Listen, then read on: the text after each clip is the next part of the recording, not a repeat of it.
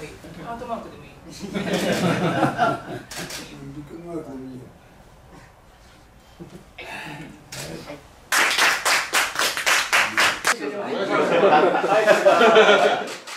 今後もチャレンジし続けるその姿、挑戦って書いていただいたし、チャレンジし続ける姿を見せていただけたらと思います。日本のスポーツ界の未来において、ますます輝かれることを心から願いまして、私のご挨拶にしております。本当に本日はおめでとうございました。第33回中日体育賞宇野昌磨殿あなたは2018年2月のピョンチャン冬季五輪フィギュアスケート男子において五輪初出場で見事銀メダルを獲得されました。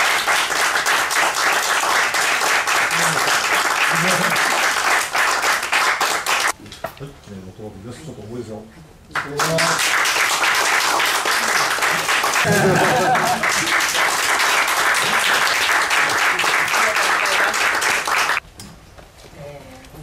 このような賞をいただき、本当にありがとうございます。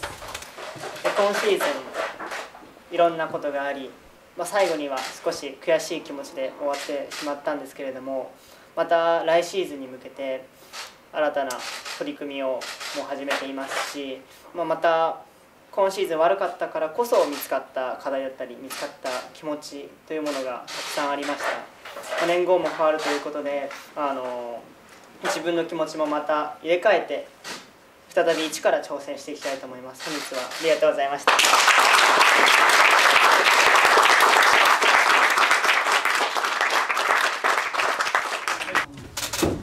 う一回いきます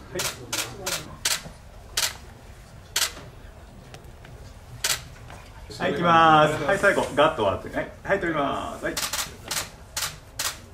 はい、もう一回、すぐ最後です。